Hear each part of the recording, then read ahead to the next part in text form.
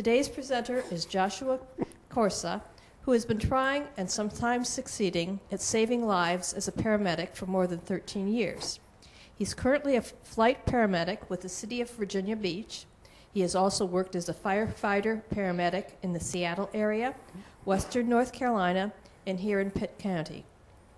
A writer and photographer in past life, he is currently a second year medical student here at Brody and is hoping to pursue a career in trauma surgery. So here's Josh Corsa to speak on bringing the medicine to the patient, a tangled history of pre hospital medicine, or. I guess I shouldn't have changed the PowerPoint beforehand, but. Uh, Brandy, hearses, and television, an irreverent history of pre hospital medicine. The Josh. more I read, the more I just decided that it just, alcohol, television, and hearses was a much more appropriate title for this presentation. Now, thank you for the introduction. Um, so, yeah, just going to talk about how we ended up today with ambulances and went from here to here. So, back when we were in the ye old ages, in the Middle Ages and times, if you got hurt on the battlefield, what do you think happened to you? You died. Or you just kind of laid there. Pretty much right. There was no system in place to carry anyone back. Uh, I'll be bouncing back and forth between my notes, but like at the Battle of Bunker Hill, the general, Horatio Gates, for the Revolutionary soldiers, left his troops on the field as long as three days before he came to collect them. And then when they came back, they actually had to pay for their own care and for their transport because the surgeons at the time were not terribly motivated. They got paid $1.66 a day, which is about 20 bucks a day in today's times. I can't imagine they would be terribly motivated. So if you had a very progressive general or commander who didn't want to let you sit on the field, there was one other option available, and that was the um, regimental band. I don't know how you guys feel, but if I saw that coming and I was wounded, it would not make my heart feel terribly good. You know, tomorrow may start here for these ECU students, but it usually ended right there on the battlefield for the soldiers when they saw these guys coming. And then came Dominique Larrey. He was a fine young Frenchman. He began, began medical school at 14. Uh, back then, of course, medical school was nothing more than a, an internship, read a couple books in Greek, and that was the end of it. And became a ship's doctor by the age of 21. About age 22, 23, he gained favor with Napoleon, became his personal surgeon, and followed the army around. And he did that from 1797 until surprisingly became unemployed in a pesky little battle called Waterloo in 1815. Now, during that time, he saw that there was no way of evacuating the soldiers from the battlefield. And he observed that and thought that there, there was probably a better way to do this. And they had something called the flying artillery in the French army at the time, where they would take the artillery shells and the gunpowder, etc., and they would take it in wagons and bring it up to the front lines, regardless of what the battlefield conditions were. So he decided to do that himself in what's called the flying ambulance. And that was the first recorded um, use of an ambulance or a carriage to carry people, uh, wounded soldiers back to, to the hospital. Um, some interesting things about him as well. He performed one of, if not the first, pre anesthetic mastectomies on a French writer. Surprisingly, she lived and lived for about another 40 years afterwards. He was held in such high regard by both his allies and his opponents. He was captured numerous times. He was never executed because he would treat both the enemies and the Frenchmen alike. In fact, the British at Waterloo had a standing order not to shoot at him or his men because they valued his contribution so much. And this is an example of what the flying ambulance looked like. It could carry up to three men and was piloted by a person whose only real qualification is being crazy enough to drive as fast as he could across the battlefield. And things about stayed the same as that through the Civil War. Um, move back a slide. And including at the Battle of Bull Run, the Union Army in the first major battle of the Civil War suffered 2,708 casualties. Many of them died because the stretcher bearers, after seeing their first real battle, fled. They ran away. Most of the wounded who lived only lived by making the march back to Washington, 27 miles away. Um, so, about the same time in the civilian world, we have the Society for the Recovery of Drowned Persons. This began in Amsterdam, where a lot of people drowned for various reasons in the canals. And this began in 1767. And uh, they resuscitated 990 people by 1802. Now, you're probably wondering about that picture. I'll get to that in one second. This led to, I need to, This led in London to, let me get this right, the Institution for Affording Immediate Relief to Persons Apparently Dead from Drowning. Not the best acronym in the world, but extremely effective. It became the Royal Humane Society and provided resuscitation kits, including tobacco enemas at various points along the Thames for first responders to use. And what this was, was uh, just as it sounds, a tobacco enema. You would put a, uh, a tube of some type up the rectum and you would blow tobacco smoke in it. And this was considered resuscitative for someone who had drowned. Uh, the first account I could find was in 1746. A man's wife was pulled from the water, apparently dead. Amid much conflicting advice, a passing sailor proffered his pipe and instructed the husband to insert the stem into the wife's rectum, cover the bowl, and blow hard. Miraculously, it was reported the woman survived. Somehow, they made thousands of saves this way and continue this day in some form or facet. After that, we have the Bellevue ambulance, which was really the first civilian ambulance per se. And this came around in 1869. And this was used to just evacuate people off the streets due to both cholera and other infectious diseases as well as injuries. So, what do you put on an ambulance in 1869? A horse is good. Then you put an intern, which back then was petrified and had very little idea what to do and had very little edu- education as well. Some splinting materials, and that's from the actual guidebook of what to load on your ambulance. Two tourniquets, no more, no less. Half dozen bandages. Two ounces of a vial of persulfate of iron. And finally, I'm not sure if this is from the intern or the patient, one full bottle of brandy. As things moved along, began getting motorized carriages, motorized ambulances, both electric and gasoline. In this case, this was an electric ambulance, the first ambulance they had that was non horse powered. The big advantages from this in 1900, if I can get the PowerPoint to work, and carry up to three patients. It's very eco friendly, of course. At a charging port of the hospital, they could keep it charged while they dropped off their patient. Both of these were donated by doctors at $5,000 a pop at the time. It was fast at 16 miles an hour. And unlike other hybrids, this one actually stopped. There were no floor mats to speak of and no dynamic braking systems. As we moved on, of course, we had motorized carriages. And in the World War I, it really started coming into really its own domain started driving the patients back, and the mortality rate in World War I was about 8%. If you made it and didn't die from your wounds, it's 8% your chance of living after that. By the time World War II came around, it's down to 4.5%. It's the product of better trained medics, having your surgeons closer to the battlefield, and again, a faster way of evacuating them off that battlefield. By Korea, they had pioneered the use of the MASH unit, which was even closer to the front lines. They evacuated about 1,800 patients by helicopter excuse me, 18,000 patients by helicopter and brought them to immediate, surgical care. This brought the death rate down about 2.5%, which is roughly where it stands now. And again, in Vietnam, actually, death rate went up to about 2.8%, but that was more as a product of the wounds more than it was the transport. The average transport time with surgeons was less than one hour, and that's from all points inside of Vietnam as an aggregate. A remarkable achievement when you think about it. And they flew out over 200,000 wounded patients during that conflict. Now, while this is happening, the civilians were also slowly, very slowly developing their services. Now, the Roanoke Volunteer Rescue Squad, which is the first rescue squad in the country, and that was in 1928. There we go. As uh, organized by Julian Stanley Wise after he had watched a young boy drown in the river and no one was able to rescue him or do anything about it. Now, this started mostly as the traditional rescue squad. They had very little training, maybe a first aid course at best, and they're mostly to pull people out of there. But as of about 1930, they started getting more into the medical end of things. Everyone had to take a first aid course. And during a polio epidemic in the 40s, they actually bought and provided iron lungs and brought them around to various polio patients a way of expanding their services out. I couldn't find a picture of an iron lung in the back of an ambulance, but apparently it did exist. Now, if you didn't have a volunteer rescue squad in your time, some of you folks may be a little older than I am, how did you usually get to the hospital if you didn't drive yourself? Somebody drove you. And if not, You know, on a bus. exactly. Who is the last person you'd want to see if you're having a heart attack?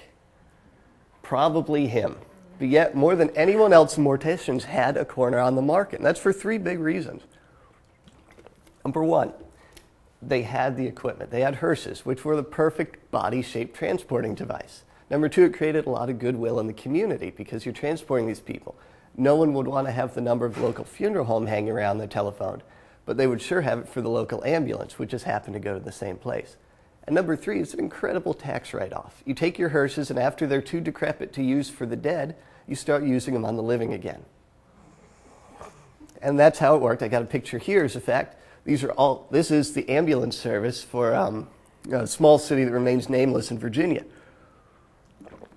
When they stopped using their hearses for anything else, they converted them into ambulances. And unfortunately, the training at the time was pretty much non existent. All you had to do was have a license and be willing to leave skid marks when you stopped.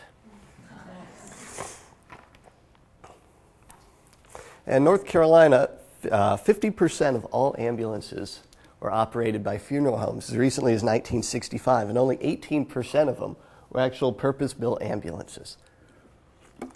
Everything else was either hearses, pickup trucks, whatever you could find.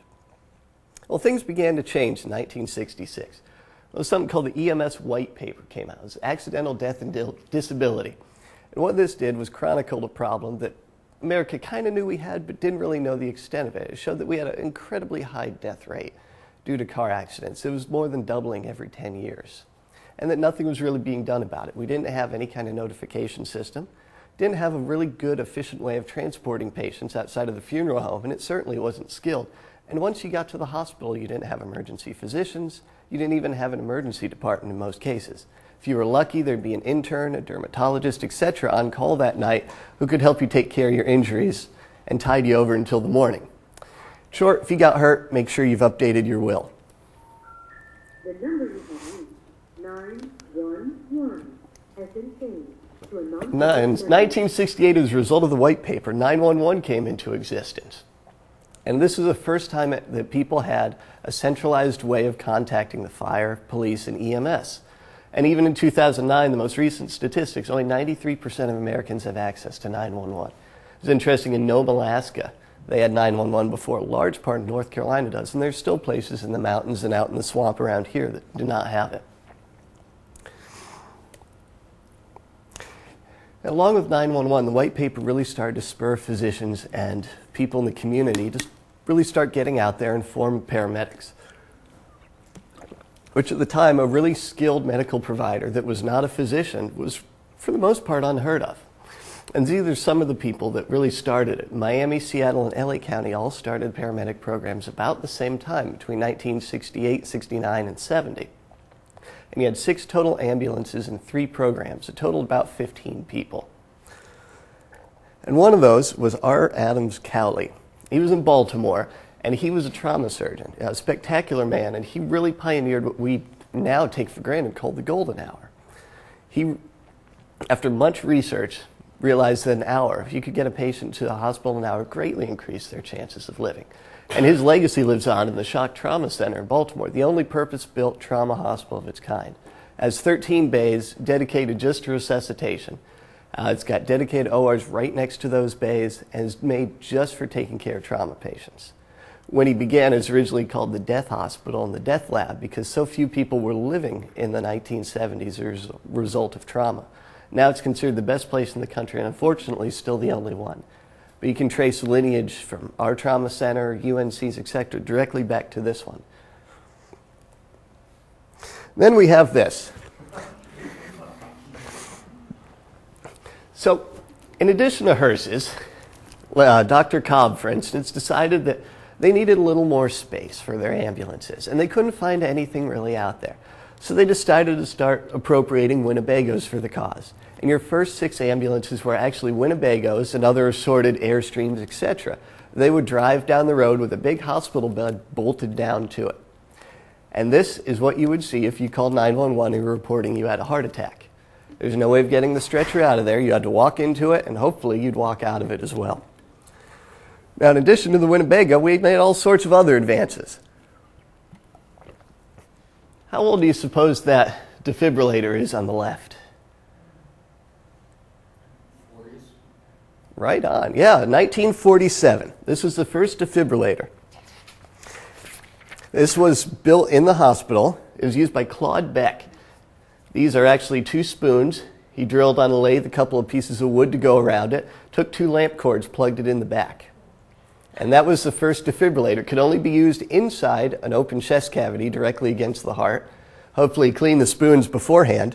And he also used it in 1947 for the first time in a 14 year old boy. He had a congenital heart defect, he had a heart attack on the table. They did CPR for 45 minutes while they gathered up the pieces of this, including a couple car batteries, and brought it into the operating room enough to shock him. It was successful, and it led to what we have now, which is on the right, which can pretty much do everything except bake you a pancake.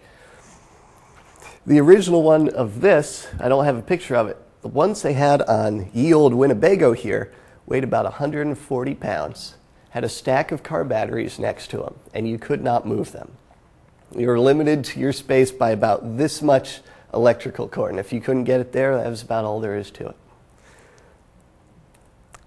Another thing we have is called intubation. If no one knows what that is, it's putting a tube down somebody's throat to help them breathe. If they've had a heart attack, they've got an obstruction, they just can't breathe on their own.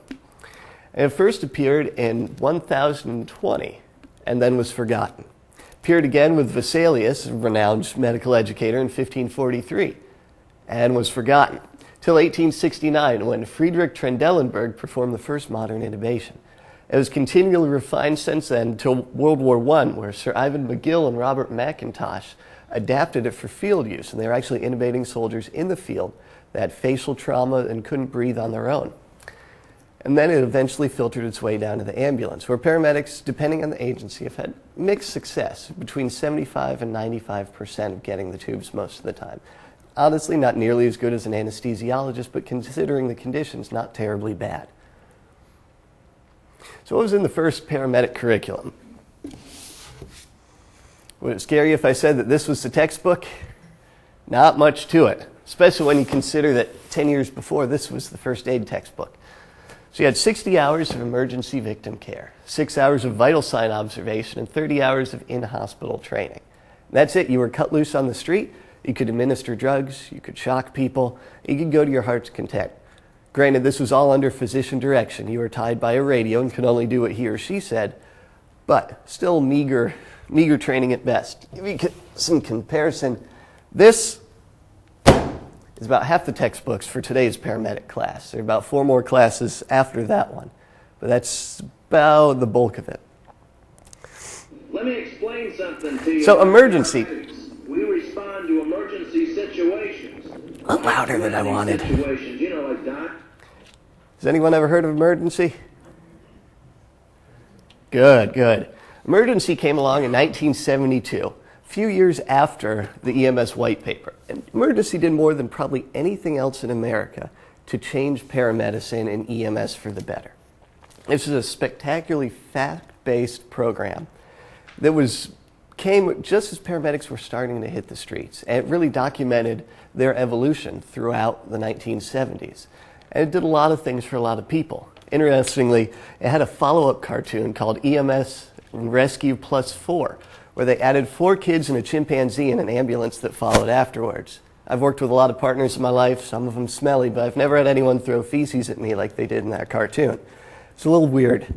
Now, effective emergency. Now, at the beginning of the show, there were 15 paramedics in those three programs in the entire country.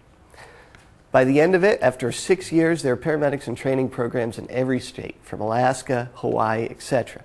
Thousands of them. Namely because people watched this show and they said, you know, why don't we have that? Why do we still have funeral homes taking care of business when we could have paramedics out there? Did a number of things. It also helps inspire the Federal EMS Systems Act of 1973 for a few years before it got vetoed, but that's another story. That really helped to fund these programs that never would have gotten the local funding otherwise, and helped standardize the EMS curriculum we have today. And more than anything, it helped inspire an entire generation of us to really go out there and care for people. And unlike Grey's Anatomy, it was very real and very accurate. Now, another thing, you have your ground based ambulance. What you didn't, what I haven't covered was air transport. Now, this is the easily the fastest and you know, best way to get a trauma patient far away from a hospital there, unless it was in 1870. when you had a hot air balloon was about the only way you could get someone out. And that started with big surprise when the Germans invaded France and they had to evacuate the wounded. Again, it was also used in World War I, especially in World War II, loading patients in the back of airplanes and carry them from islands in the Pacific and from Europe back in country. The helicopter was first used towards the end of World War II. Um, it was just coming on the scene at the end of the war, and it was used to evacuate airmen that had crashed in Burma. Since then, it got refined a number, a great deal. I'll talk about that in a second. One thing that came around in 1928 was the Royal Flying Doctor Service. Has anyone ever heard of this before? Good. It was kind of a peculiar, peculiarity to Australia, and it's still around today in a number of forms. Having the big, vast amount of space that Australia has, they needed a way to evacuate these people from the outback to hospitals. So they came up with the Royal Flying Doctor Service. And this was started by Reverend John Flynn, like I said, in 1928, as a result of a gentleman named Jim Darcy. I'm going to try and read through the story real quick. Jim Darcy was found injured in Western Australia with a ruptured bladder by some friends in 1917. He was transported over 30 miles, or 12 hours, to the nearest town. He was met by the postmaster, who was also the only man in the settlement trained in first aid. He, Tuckett, the postmaster, said there's nothing that could be reliably done for the injuries and they tried unsuccessfully to contact doctors by telegraph. They got through to a doctor in Perth, and communicating by Morse code, Dr. Holland, a doctor in Perth, guided this Mr. Tuckett through two bladder operations using the only sharp instrument available, a penknife. Dr. Holland then endeavored to get out there, and after 10 days, he traveled there we go, by cattle transport, Model T Ford, and horse drawn carriage, only to find that Darcy had died the day before. Interestingly, he did not die from the operations, which were a success, but from undiagnosed malaria. Thus, the Royal Flying Doctor Service was born. And this, in 1972, was the first civilian agency. This was out in Colorado called Flight for Life. And this is inspired a lot by the success of Korea and Vietnam. Like I said, there are 18,000, 200,000 people transported, respectively, during those wars. In 1972, the Flight for Life, and it flew about three, 400 calls that first year and had a great success rate. It proliferated incredibly well since then, and now we have more than 500 different agencies nationwide.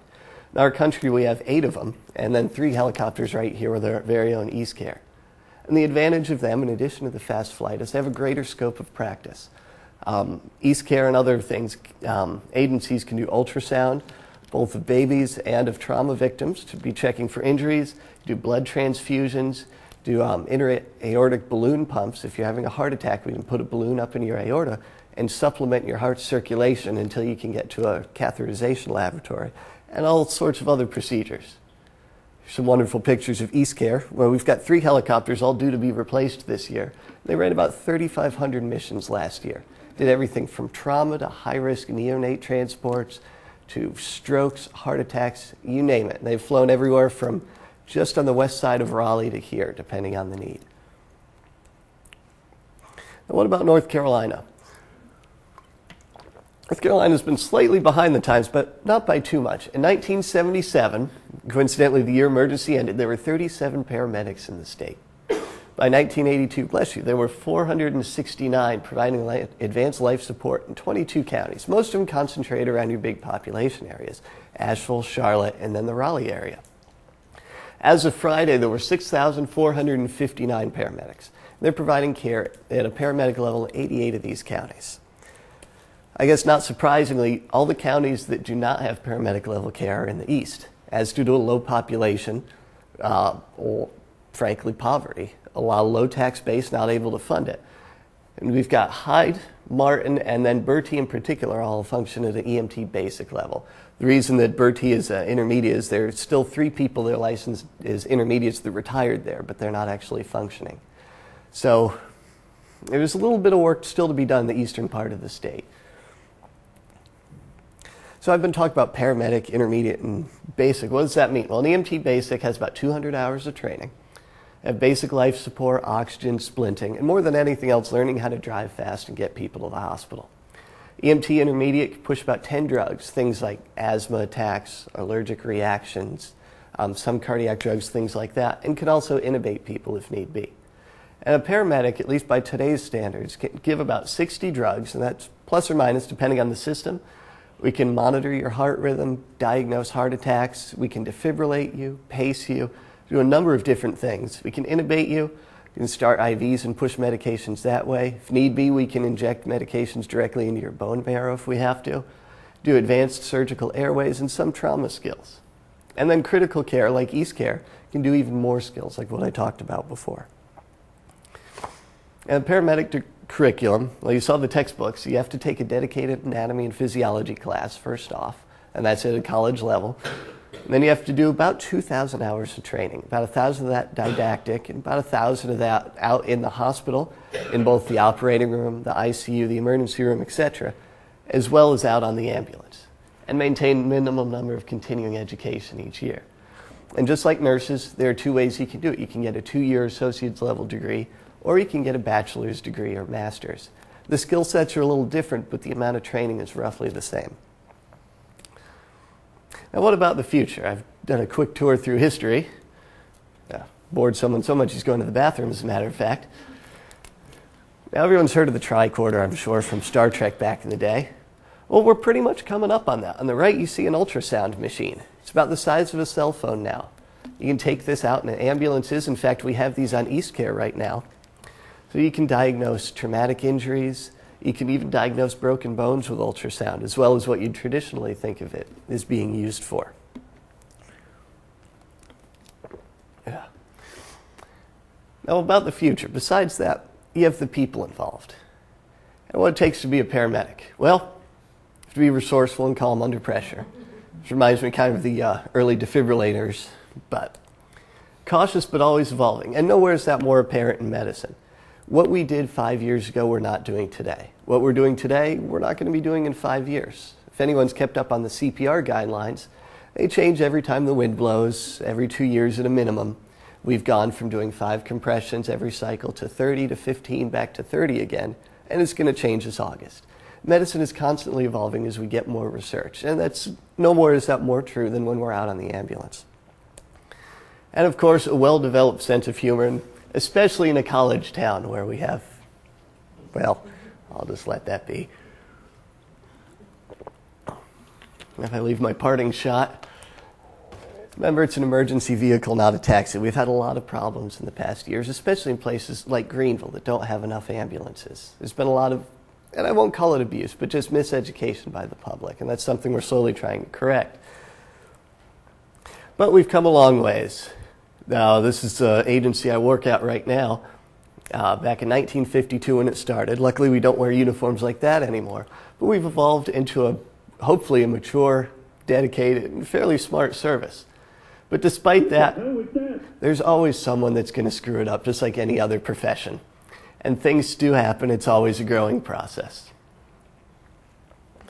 And finally, one thing I wanted to do, especially being here at EastCare, um, being a flight paramedic, it's rough. EastCare's had its own loss. Um, lost three people about a decade, uh, maybe two decades ago now. I'm not sure the year. And pretty much every service I've worked at has lost people as well. I can't think of a single service in this country that hasn't had a wreck for whatever reason. So I usually try and end things on this note. Uh, 2008, unfortunately, was a terrible year. And so far, we're doing better this year. But like anything else, safety is a, a big factor. So, it, yeah, just something to be appreciated. I know every day I appreciate it as well. And you know, if you see any of these guys in EastCare, they're every day putting their butts on the line, flying in weather like this, trying to take care of people.